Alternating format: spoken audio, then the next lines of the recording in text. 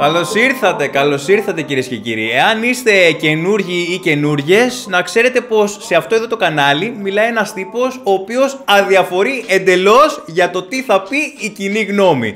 Οπότε εξοπλιστείτε με το απαραίτητο πληκτρολόγιο και αφήστε τον εαυτό σας να οργιάζει στο τέλος του βίντεο στα σχόλια. Πήγα λοιπόν, είδα το Wakanda Forever και κατέληξα να βρίζω τη Marvel η οποία σοβαρεύτηκε τόσο πολύ που στο τέλος της προβολής της ταινίας ε, Μπερδεύτηκα για πολλή ώρα μπορώ να πω. Σήμερα λοιπόν θα αποδοθεί δικαιοσύνη για κάτι που θα έρθει στο μέλλον για τη συγκεκριμένη ταινία γιατί το βλέπω να έρχεται.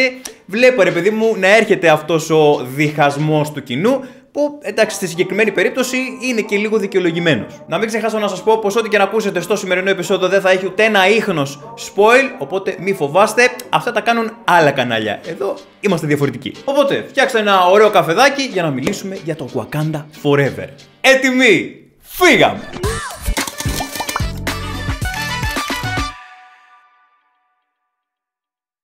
Πριν αρχίσουμε να τα λέμε, να σου υπενθυμίσω, εάν σου αρέσει το υλικό που βλέπεις σε αυτό το κανάλι, να μην ξεχνάς να το δείχνεις πατώντας το κουμπί του like και αν είσαι καινούριος ή καινούρια, πάτησε το κουμπί της εγγραφής για να μην χάνεις κανένα από τα επόμενα βίντεος που θα έρθουν. Και να πω και ένα τεράστιο ξεχωριστό ευχαριστώ στις μελάρες αυτού εδώ του καναλιού που βοηθούν έμπραχτα την προσπάθεια που γίνεται. Πάμε να τα πούμε.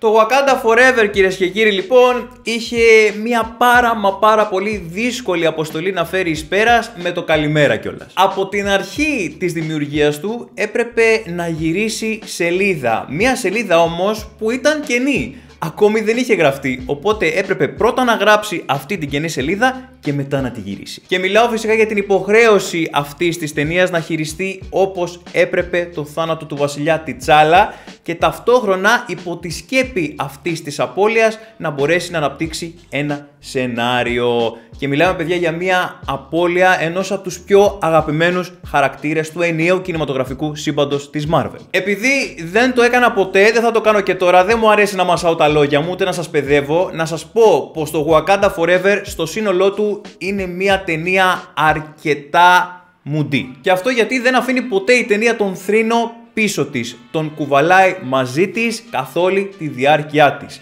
Και για εμένα πολύ καλά έκανε.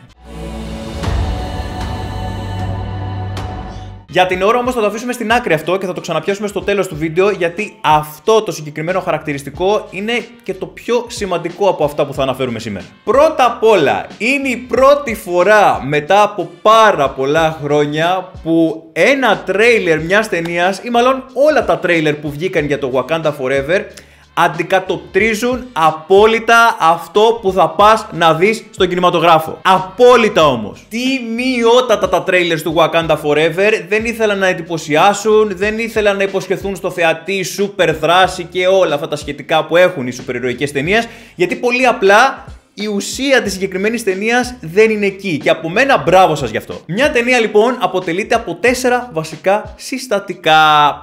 Έχει και άλλα πολλά δηλαδή, αλλά τέσσερα είναι τα βασικά. Σκηνοθεσία, σενάριο, κινηματογράφηση και soundtrack.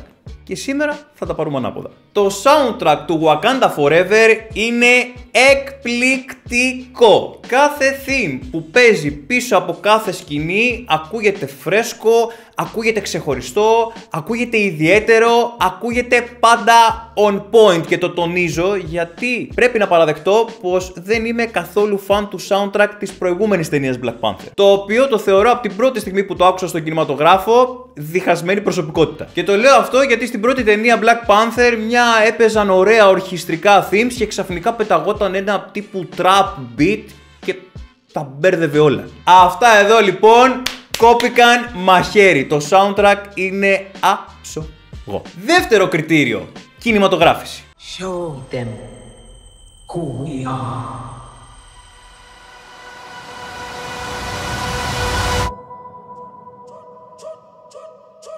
Τα trailers όπως προείπα λοιπόν δεν υποσχέθηκαν δράση φοβερή στον θεατή, όμως αυτό που μπορούσε να δει κάποιος ξεκάθαρα είναι πως η ταινία κινηματογραφικά είναι υψηλού επίπεδου. Ε, δεν ήταν αυτό που έβλεπες από τα trailers, ήταν απλά τίμια κινηματογράφηση, Ναι, μεν είχε μία ιδιαιτερότητα, είχε μία δική της αισθητική, ρε παιδί μου, αλλά εμένα τουλάχιστον δεν με κέρδισε. Ούτε μπορώ να πω ότι με εντυπωσίασε. Μη σας πω, μερικές φορές στο μάτι μου φαινόντουσαν υπερβολικά αυτά που έβλεπε. Βέβαια, μπορεί να φταίει το δικό μου μάτι, γιατί όπως και να το κάνουμε, οι ταινίες Black Panther είναι, φτιάχνονται, απευθύνονται στον κόσμο αφρικανικής καταγωγής και όχι στον υπόλοιπο κόσμο. Και μαγιά τους. Είναι ταινίες, ρε παιδί μου, που σέβονται τις παραδόσεις και το πάνε μέχρι τέλους. Και αυτό το εκτιμώ, είτε εμένα μου αρέσει είτε όχι. Τρίτο κριτήριο σενάριο. Δεν μπορώ να πω πάρα πολλά για το σενάριο, δεν μπορώ να αναπτυχθώ γιατί το βίντεο είναι χωρίς spoil. Το μόνο που μπορώ να πω είναι πως είχε μια πολύ δύσκολη αποστολή και νομίζω ότι στο τέλος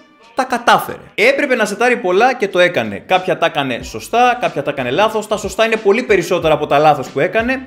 Αλλά μπορώ να πω ότι πολλές φορές κιόλας υπερέβαλε. Όπως και να το κάνεις, όταν είσαι μια σουπερηρωική ταινία, πρέπει να κρατάς κάποιες ισορροπίες πολύ απλά γιατί σαν ταινία το είδος σου μάλλον απευθύνεται σε ένα συγκεκριμένο τύπο κοινού. Το οποίο κοινό, όπως τα γνωρίζετε περισσότεροι, ε, δεν αντέχει και πολλά πολλά. Η συγκεκριμένη περίπτωση πάντως για αυτές τις υπερβολές από εμένα παίρνει ένα συγχωροχάρτη γιατί είπαμε όλη η ταινία σκεπάζεται από το πέπλο της απώλειας του Black Panther. Αλλά ότι υπερβάλλει παιδιά, υπερβάλλει. Και αυτή η υπερβολή δεν οφείλεται τόσο στο σενάριο όσο στην σκηνοθεσία αυτής της ταινίας παιδιά και κάπου εδώ περνάμε στο κριτήριο νούμερο 4.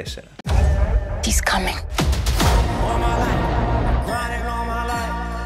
Without the Black Panther, Wakanda will fall. Η σκηνοθεσία κυρίες και κύριοι είναι ο τομέας στον οποίο χωλαίνει πάρα μα πάρα πολύ το sequel της ταινίας Black Panther. Η ταινία είναι 2 ώρες και 41 λεπτά, το οποίο ναι μεν από τη μία είναι λογικό γιατί πρέπει να υποθούν πολλά πράγματα, από την άλλη όμως τελειώνοντας την προβολή της, μπορώ να πω πως έπιασα τον εαυτό μου να θεωρώ να μην γίνω υπερβολικός και να πω να ήταν μισή ώρα πιο μικρή, θα πω ένα τεταρτάκι να της έλειπε θα ήταν κομπλέ. Έχει κάποιες αχρίαστες επαναλήψεις, έχει κάποιες μακρόσυρτες σκηνές που θα μπορούσε να είχαν κοπεί, να γίνουν λίγο μικρότερες ρε παιδί μου, ώστε να είναι πιο ευκολοχώνευτες για το μεγαλύτερο κοινό που βλέπει αυτές τις ταινίες. Γιατί παιδιά το Wakanda Forever είναι μία βαριά ταινία. Ειδικά για σου περιρροϊκή ταινία παιδιά είναι βαριά. Δεν τη νοιάζει να βιαστεί να σου πει πράγματα. Θέλει να τα ζήσεις όλα όπως πρέπει. Κάτι που εκτιμώ πάρα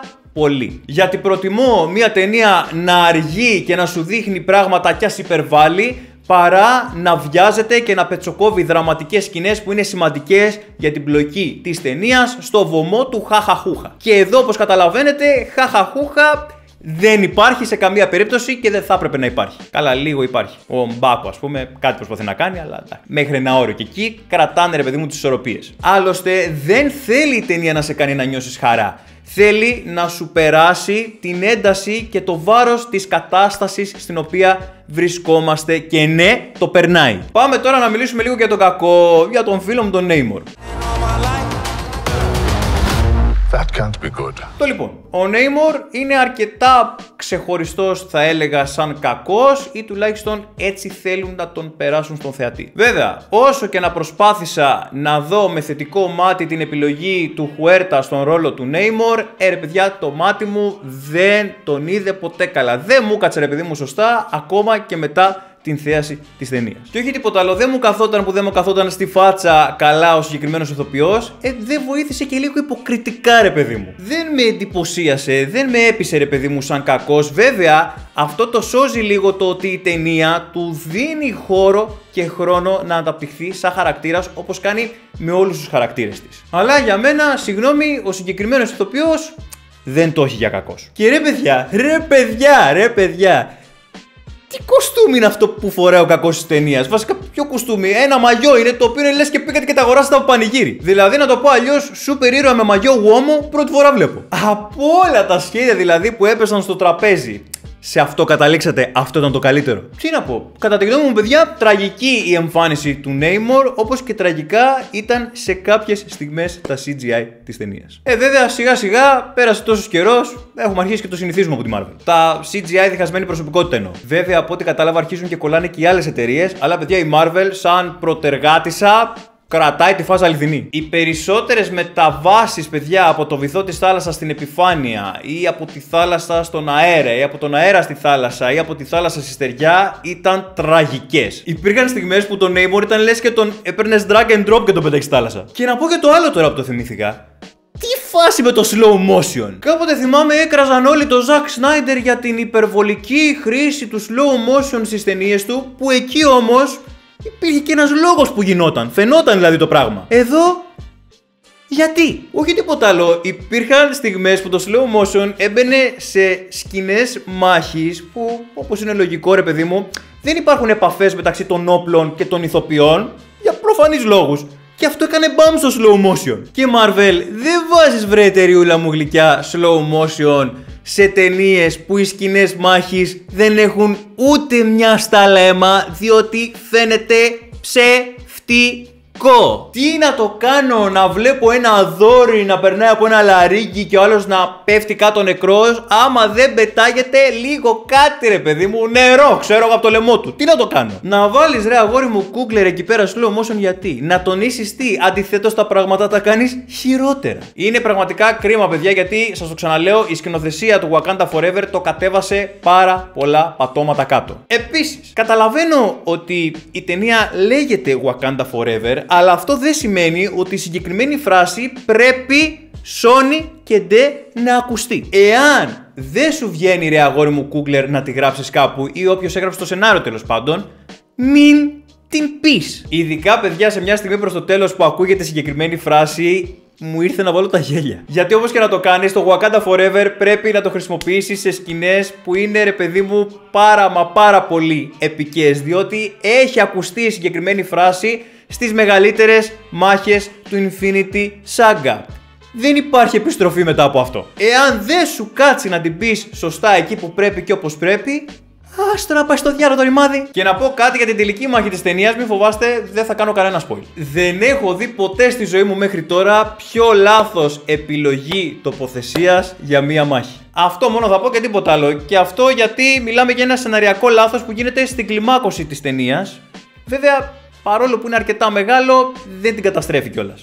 Άμα θες, ρε παιδί μου, το δέχεσαι γιατί υπάρχουν άλλα που σε κρατάνε. Και θα κλείσω με τα αρνητικά λέγοντας πολύ αχρίαστη post-credit scene. Βασικά να το πω πιο σωστά, πολύ αχρίαστη και περιττή σεναριακή εξέλιξη. Για εμένα δεν χρειαζόταν καθόλου αυτό που έγινε στην post-credit scene της ταινίας πολύ απλά διότι η ταινία με έπεισε με όλα αυτά που μου είχε δείξει πιο πριν. Και τώρα ήρθε η ώρα να επιστρέψουμε σε αυτό που ξεκίνησε αυτό το βίντεο.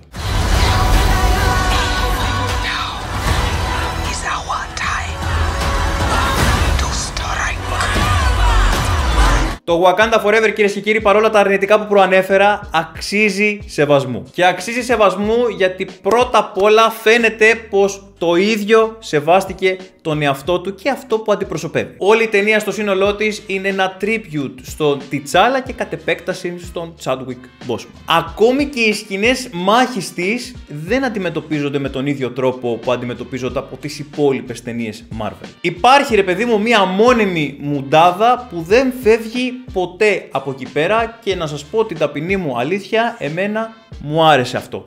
Με κούρασε σε σημεία. Ναι, με κούρασε και αρκετά και όλα σε πολλά σημεία, όμως δεν μπορώ να μην εκτιμήσω το ρίσκο που παίρνει. Υπάρχουν πάρα πολλά σημεία που η ταινία παραμένει βουβή και επειδή έχει να κάνει στο σύνολό της με τον ωκεανό και έναν πολιτισμό που ζει στο βυθό του ωκεανού, αλλά γιατί στο σύνολό της θέλει επίσης να είναι λυπητερή. Η Wakanda καθ' όλη τη διάρκεια της ταινίας θρηνεί, άλλοτε με ορατό τρόπο και άλλοτε με υποσυνείδητο. Εγώ λοιπόν θα πω ανεξάρτητα από το αν πας δεις ή αν έχεις δει ήδη το Wakanda Forever, είτε σου αρέσει είτε όχι, πρέπει να το εκτιμήσεις. Πρέπει να εκτιμήσεις ότι δεν τη νοιάζει να γίνει αρεστή σε όλους, δεν τη νοιάζει να σου δείξει αυτό που θέλεις να δεις, την νοιάζει να σου δείξει αυτό που γουστάρει εκείνη. Χέστηκε για το αν θα γίνει το απόλυτο hit ή δεν γίνει. Την νοιάζει μόνο να αποδώσει φόρο τιμής στον άνθρωπο σημαία του συγκεκριμένου franchise που ακόμη ρε παιδιά και μετά από τόσο καιρό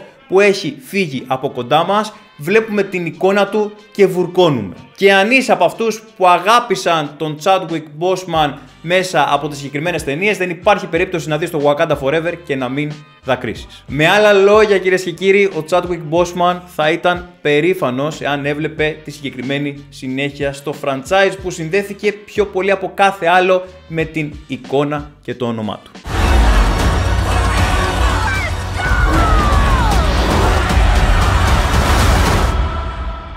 Σαν Θωμάς λοιπόν έχω την υποχρέωση να πω ένα τεράστιο μπράβο στη Marvel που δεν θυσίασε ακόμη ένα project της στο βωμό του χρήματος. Όπως συνηθίζει να κάνει το τελευταίο καιρό. Μπράβο της που άφησε ελεύθερους τους δημιουργούς να κάνουν αυτό που θέλουν, να αποδώσουν τον φόρο τιμής όπως αυτοί γουστάρουν και όπως πρέπει. Μπράβο που μετά από αρκετά χρόνια μπορώ να πω βλέπω επιτέλους μια σούπερ ταινία που έχει νόημα ύπαρξης. Ναι, είναι βαριά, το δέχομαι. Ναι, είναι καταθλιπτική. Ναι, επαναλαμβάνεται σε πολλές στιγμές της. Ναι, έχει σεναριακά λάθη, αλλά παρόλα αυτά έχει νόημα ύπαρξης. Δεν είναι μια ταινία hot dog που θα το φας, θα φας κι άλλο ένα, θα φας κι άλλο ένα και κάποια στιγμή θα πειράξει την υγεία σου.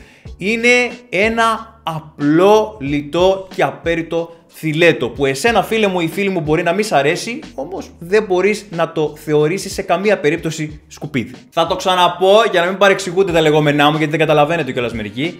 Μπράβο στους υπεύθυνους για αυτό το αποτέλεσμα άσχετα εάν αρέσει ή όχι στην μάσα. Γιατί αυτή η ταινία θα διχάσει και το ήξεραν οι τύποι αυτοί που θα διχάσει πριν την βγάλουν και όμως δεν κόλωσαν. Και για να κλείσω θα πω πως προτιμώ να βλέπω κάθε χρόνο να βγαίνουν 4 Wakanda Forever παρά να βλέπω να βγαίνουν 4 Shang-Chi. Ναι, το είπα και το εννοώ. Προτιμώ να βλέπω δηλαδή ταινίες που προσπαθούν να πούν κάτι στο θεατή, άσχετα ρε παιδί μου αν καταφέρνουν να το κάνουν αυτό ή όχι, παρά να βλέπω ταινίες βγαλμένες από εργοστάσιο παραγωγής που θέλει απλά να βγάλει χρήματα. Και όχι τίποτα άλλο, είναι ρε παιδί μου σαν να τις έχω ξαναδεί 200 φορές. Προτιμώ να βλέπω ταινίες με δικό τους χαρακτήρα παρά να βλέπω ταινίες που θέλουν να γίνουν Sony και Ντε να προσπαθούν με νύχια και με δόντια να γίνουν η ψυχή της παρέας. Γιατί η παρέα που θέλουν να γίνουν αρεστές αυτές οι ταινίες είναι σαν αυτοί που καθόταν πίσω μου στο σινεμά και μόλις τελείωσε το Wakanda Forever έλεγαν Πάμπα ρε φίλε, το περίμενα ότι θα είναι κακή η ταινία, αλλά όχι και τόσο. Μιλάμε, βαρέθηκα ελεηνά, ε, και δεν μπορούσα να φύγω κιόλας. Εγώ έχω επιλέξει από την πρώτη στιγμή που άνοιξα αυτό το κανάλι να μην είμαι μέλος αυτής της παρέας και το ίδιο ακριβώς επέλεξε και το Wakanda Forever. Και μαγιά του. Πρόσημο θετικό λοιπόν για τη δεύτερη ταινία Black Panther. Θέλω όσοι πάτε να τη δείτε να εξοπλιστείτε με τη μεγαλύτερη υπομονή που μπορεί να έχετε, ρε παιδί μου, και να την αφήσετε να σας ταξιδέψει στο δικό της κόσμο χωρίς να έχετε σουπερηρωικέ απαιτήσεις. Απλά αράξτε, ρε παιδί μου, και απολαύστε αυτό που θέλει να σας πει. Μην περιμένετε εντυπωσιασμούς, μην περιμένετε μια roller coaster movie σαν το 99,9% των σούπερ ηρωικών ταινιών που βγαίνουν σήμερα. Και θα κλείσω λέγοντας πως σε σχέση με την πλειοψηφία αυτών που είδαμε στο Phase 4 της Marvel, το Wakanda Forever είναι έτη φωτός μπροστά. Αλλά αυτά δεν είναι για τώρα, είναι θέμα το οποίο θα συζητηθεί σε κάποια από τα επόμενα βίντεο. Εγώ ήμουν ο Θωμάς, εάν θέλεις να βλέπεις περισσότερο υλικό από εμένα, μπορείς να με ακολουθήσεις και στο Instagram αλλά και στο TikTok. Σε ευχαριστώ πάρα πολύ που έμεινες ως το τέλος αυτού του βίντεο. Εάν σου άρεσε, ξέρεις τι να κάνεις και για να μην χάσεις τα επόμενα, πάτησε το κουμπί της εγγραφής και το καμπανάκι για να μην χάνεις καμία ειδοποίηση για τα επόμενα βίντεος που θα έρθουν. Και μέχρι το επόμενο να βλέπετε ταινίες και σειρές, αλλά πάνω απ' όλα να περνάτε όλοι super.